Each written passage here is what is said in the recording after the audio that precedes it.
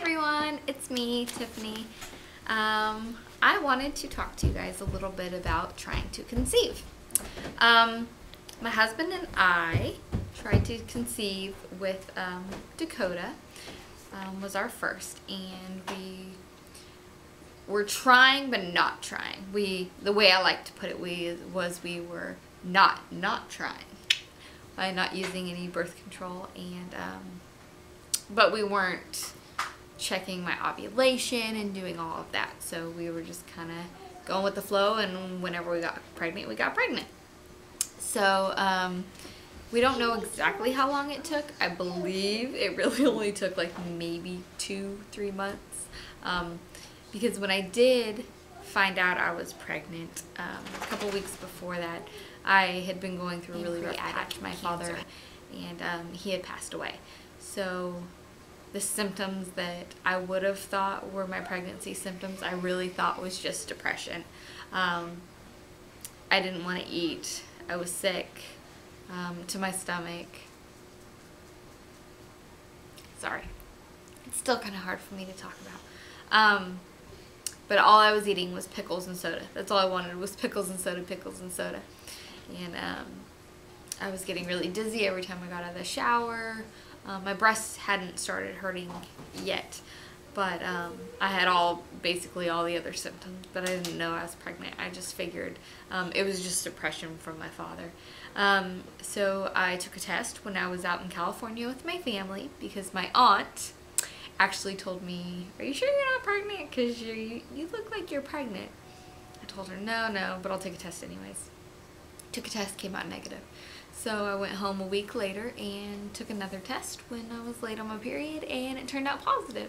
So I called my aunt right away and let her know. Um, so I don't really know how long it took for us to get pregnant with Dakota. I really don't think it took long at all. And because of the issues that I was going through, um, we weren't really too too stressed about having a child. Um, so with Tegan, though, um, I got the IUD after I had Dakota, right after, six weeks after. Um, and I had that for about two years, almost two years.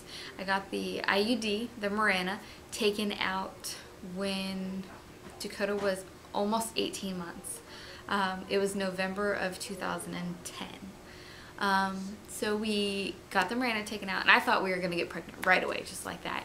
And we didn't. Um, it took let's see, November I got it taken out. So November, December, January, February we found out we were pregnant. So it took about four months. Um, whereas I thought it was going to happen right away. Actually, I didn't. didn't. get any birth um, control. I wasn't on any birth control, but I was breastfeeding. And I know that breastfeeding is not a way of birth control because you can get pregnant on it when while on it while you're breastfeeding exclusively um, you can get pregnant. So it shouldn't be used as a method of birth control, and we didn't use it as a method. Um, so I breastfed until about June or July is when I started weaning and I stopped. And then we started trying right away. And we just found out we were pregnant on November 8th. November 8th. So that took also about four, between like four and five months to get pregnant.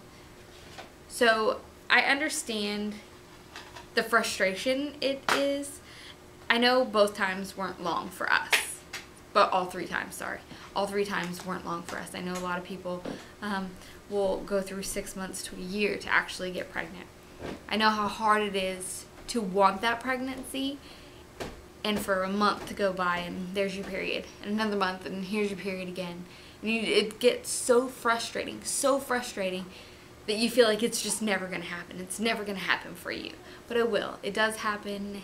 And the less stress that you have, the easier it will be to get pregnant. Because stress does, does help you not get pregnant. Does that make sense? Oh, maybe not. Maybe that doesn't make sense. But it postpones it, is what I've found out. Um, also, with with this pregnancy, we did track my ovulation. Um, and I think with Tegan's also, we started tracking I had breastfed Tegan for between six and seven months. So my periods weren't regular at all right afterwards. and we started trying like right after I was st- stopped breastfeeding. So they were really irregular, and it was really hard to track my ovulation. And my period would be like consistent for like two months, and then the third month would just be out of whack, and then and then the next month would be not when I thought it was gonna be. So I never really knew when I was ovulating, and it, it was really frustrating. Um, I didn't track like my temperature or anything like that. I know there's other ways that you can you can try to find out when you're ovulating, and I didn't do that. And I also didn't do the ovulation kits, and I should have done that. But I didn't. Um, I, I didn't want to buy so many of them and pee on it every single day. Like that's just too that's just too much for me.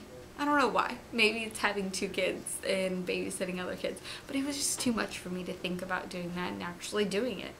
So I didn't. We just kind of like tracked it on my phone and, oh, well, I'm supposed to be ovulating right now, so we'll try this day or this day or whatever. We won't do it these days. We also are trying to have a boy. So we were trying to make it on the certain days. We Googled it. And I Google everything. I'm a Google fanatic. Um, so you try to have it like the closest to the ovulation possible, like the day of ovulation. And so, me not knowing my ovulation, it was so hard for me to say, yeah, this is when we're supposed to do it, honey. And then a couple days later, oh, well, now I think I'm ovulating, so we, we should probably do it tonight. And so, we, we don't know. We don't know exactly when we conceived. And so, I can't really feel like I'm have like oh well you know we conceived on this day so we're probably gonna have a girl or we're probably gonna have a boy because we conceived on that day. I have no idea what day. You know and the doctor is like oh well you probably conceived on this day but they don't exactly know. Nobody actually knows. So whatever. That's all I can say about that. Um, the doctor says that we conceived on either the 16th or 17th of October. And of course, I find this out, so I try to go back to my phone to find out like when I supposedly ov ovulated that month, and I had already deleted the app on my phone. Great, huh? so um, I'll try to look it up later and see if like it sways me one way or the other of if I think it's gonna be a boy or a girl. So we'll see. I already told so, you that we found out we were pregnant November 8th. But, so, you okay?